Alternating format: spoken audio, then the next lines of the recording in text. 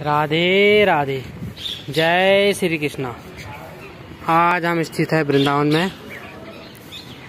हम आपको दिखाने जा रहे हैं वृंदावन में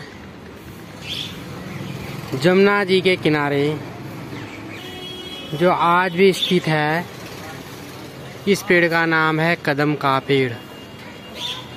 एक कदम का वही पेड़ है, जब गोपियाँ जमुना जी में स्नान कर रही थी। और इसी पेड़ में चढ़कर श्री कृष्ण भगवान ने उनके वस्त्र छुपाए थे। यह कदम का पेड़ आज भी मौजूद है। श्रीमद् भागवत पुराण में कदम के पेड़ की आयु दस हज़ार वर्ष लिखी गई है। और श्री कृष्ण भगवान जब इस धरती पर आए, तब से अब तक पौने छः हज़ार वर्ष बीत चुके हैं। और यह पेड़ आज भी ज्यों का त्यों वैसे ही मज़बूत है और वैसे ही मौजूद है। यह है वही घाट जहाँ पर गोपियाँ स्नान कर रही थी। इसमें यहाँ पे लिखा हुआ है चीर घाट। अब जमुना जी जो है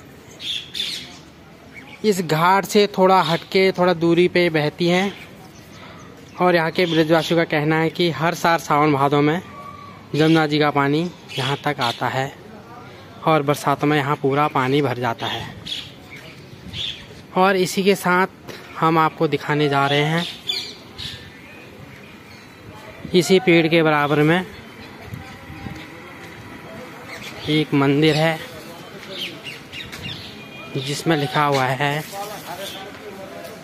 परम प्राचीन कालीधा मंदिर।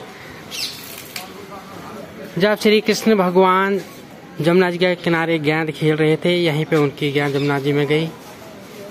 और वो गेंद निकालने के लिए जमुना जी में कूदे, तब उनका सामना कालिया नाग से हुआ। और उसी कालिया नाग के फन में जब उन्होंने रासलीला रची, कुछ लीलाएँ की तो वही यह जगह है जहाँ पे उनके साथ यह दृश्य देखने को मिला। यह भी जमुना जी के किनारे स्थित है। उसी जगह पे स्थित यह मंदिर है